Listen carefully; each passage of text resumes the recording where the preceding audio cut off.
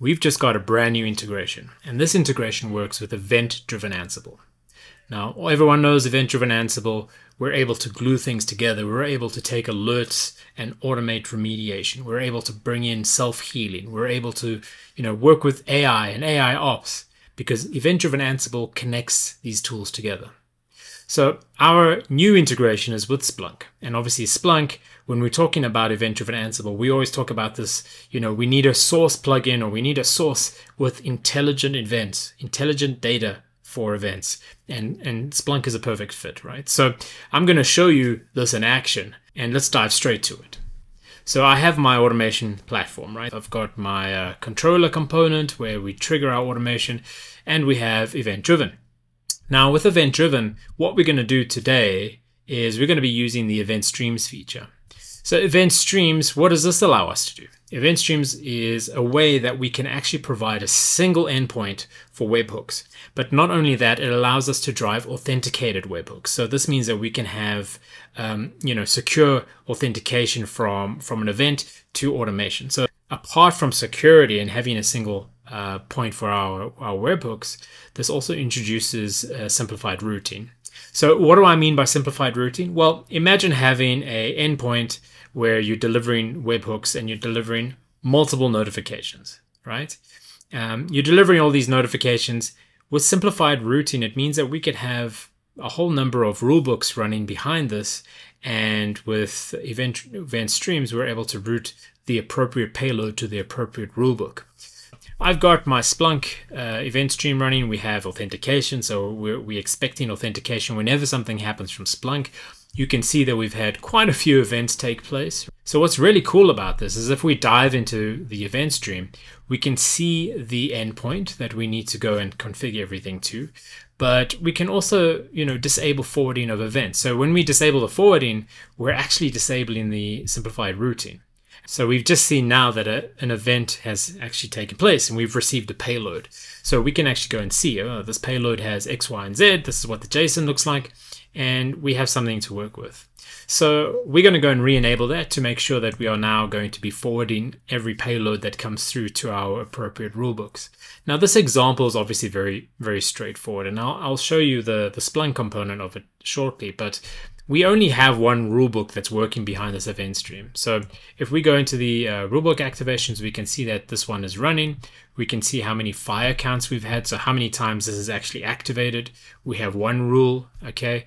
Um, and this is, this is basically tied into that event stream. Great. So let's go and have a look at what we're monitoring.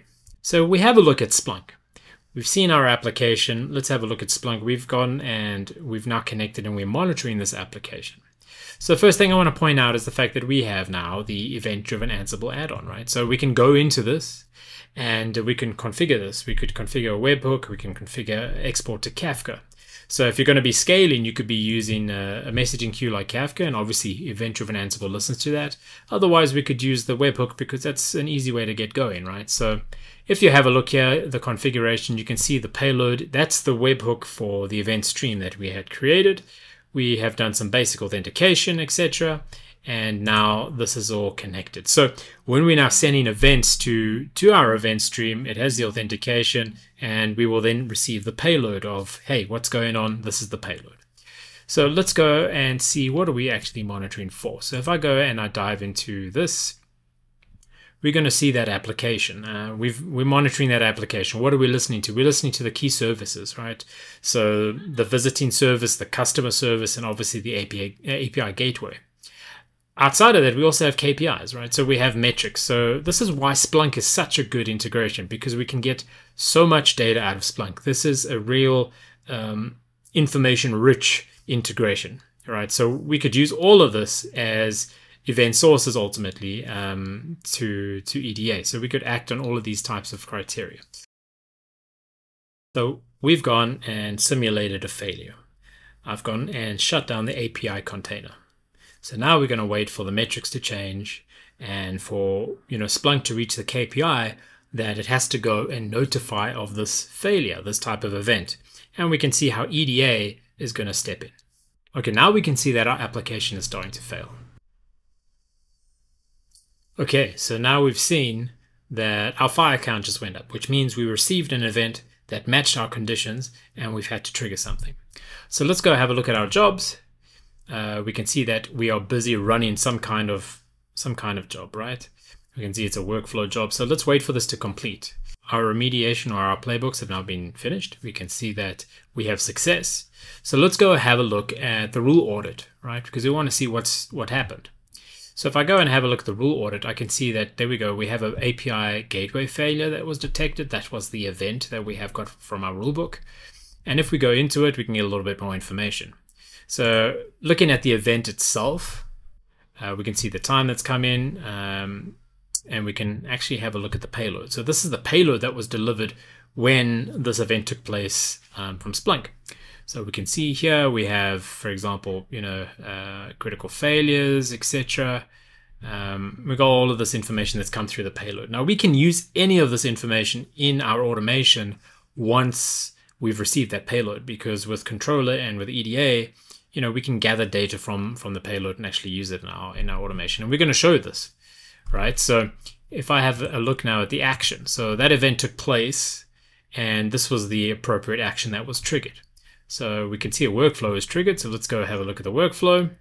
So here's the workflow. We can see we, it's a very basic workflow, right? It's only um, basically one template, but we could build onto this. We could introduce multiple steps if it was needed. But let's go have a look at our template itself. So we can see we got the payload and it triggered this, uh, this template. We've gone ahead and we restart that, that container that uh, we simulated a failure for. Um, and then we went and we double checked to see that it's still running. Um, and here's the thing, right? Remember, I told you that we could get information out of those payloads and use them. Well, we also wanted to go back and update Splunk because, you know, when Splunk has an issue, it creates an episode and we want to be able to go and update that episode. So let's go have a look at what we did here. We are able to take that payload and ultimately I could go and have a look at the actual episode content that was part of that payload. So if I go and say, okay, let me have a look at this um, information. This is the episode ID, right? So this is the ID that gets generated and is handed off from that payload from Splunk. And we're able to extract that out of the payload and we can now then go and use it. So I can use this, for example, to do an API request back to Splunk to update it. So inside of Splunk, let's just refresh this. Uh, to see if things are getting better now. And then we can go and have a look. So we can see immediately services are coming back online, things are going back green. So we've restored the application, our application is working again. Um, and if we go and we have a look now at our episodes, we can go and search for that episode that we were able to pull out of that payload and see, you know, were we able to go and actually update it? So I'm going to go and add this. Let's go and search specifically for that. We can see here's the group um, of this type of, of event. If we go into it, we can see the status is resolved. So we were able to update that status once we've actually gone and fixed it. So let's go and have a look at the comments because we would have added comments. Um, and here we go. We can see the comments. So obviously we've done this a few times, so we have a couple of comments, but you can see that, you know, we've added things like we've investigated this issue uh, with Ansible, we've provided the multiple job outputs. So we can say if you wanted to see what we did to remediate it or which you know playbooks ran, here's the output so that we can go and navigate to that. In the same time, we we timed how long it took to remediate. So in this particular instance, it took me two seconds, but you can see in the past I've had some that were eight seconds, some were three seconds. This is how quickly it took to restore service, right? And um, at the same time, we can see we've added that, okay, that check of is the container back running? Yes, it is. Cool. Then we're going to add that as a comment as well. So we've been able to have a full life cycle here. We've had our application, something failed, it told event-driven Ansible, event-driven Ansible then triggered some kind of remediation, and that remediation ultimately updated Splunk to say, everything's cool, everything's working, we've resolved the issue, and here's a bit of detail in terms of what we've done so that our engineers can actually go and have a look if they need to. This is why this integration is so important because there's so many use cases that we could apply Splunk and event-driven Ansible uh, and really give us um, a full life cycle uh, automation in our organization and allows us to keep our you know our tools running our our configurations our systems everything in uh, perfect working order.